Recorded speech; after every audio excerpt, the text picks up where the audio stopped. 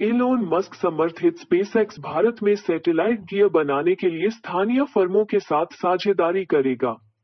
Elon Musk का SpaceX भारतीय फर्मों के साथ स्थानीय रूप से उपग्रह संचार उपकरण बनाने की योजना बना रहा है, जिसमें एंटीना सिस्टम और यूज़र टर्मिनल डिवाइसेस शामिल हैं, क्योंकि ये अगले साल देश में अपनी हाई स्पीड स्टारलिंक उपग्रह ब्रॉडबैंड सेवाओं को लॉन्च करने के लिए तैयार है।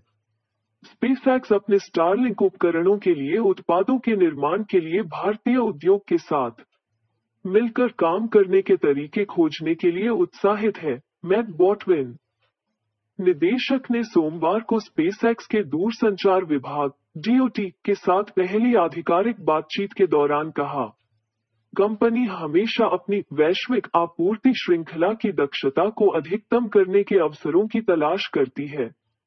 और अब उन अवसरों को पहचानने के लिए भारत में अपने भागीदारों के साथ काम करने की उम्मीद कर रही है।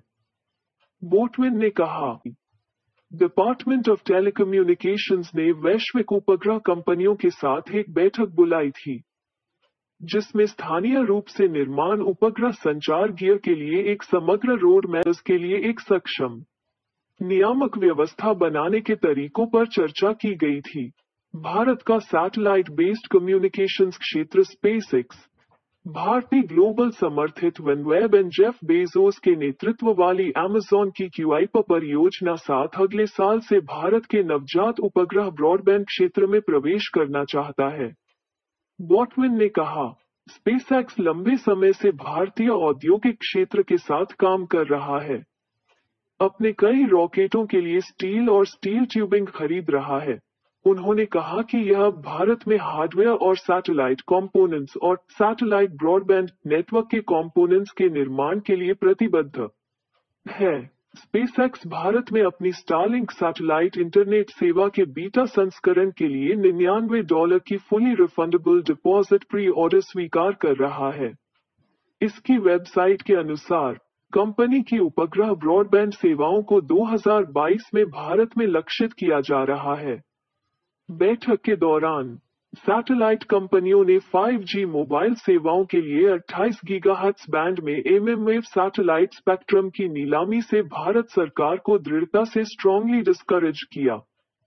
यह कहते हुए कि इस तरह के कदम से उनकी डेटा डाउनलोड गति और भारत में भौगोलिक पहुँच प्रभावित होगी। प्रतिष्ठित 28 गीगाहर्ट्ज स्पेक्ट्रम 27.5 गीगाहर्ट्ज से 29.5 गीगाहर्ट्ज तक की बैंड रेंज के साथ। वर्तमान में विशेष रूप से सैटेलाइट प्लेयर्स द्वारा उपयोग किया जाता है।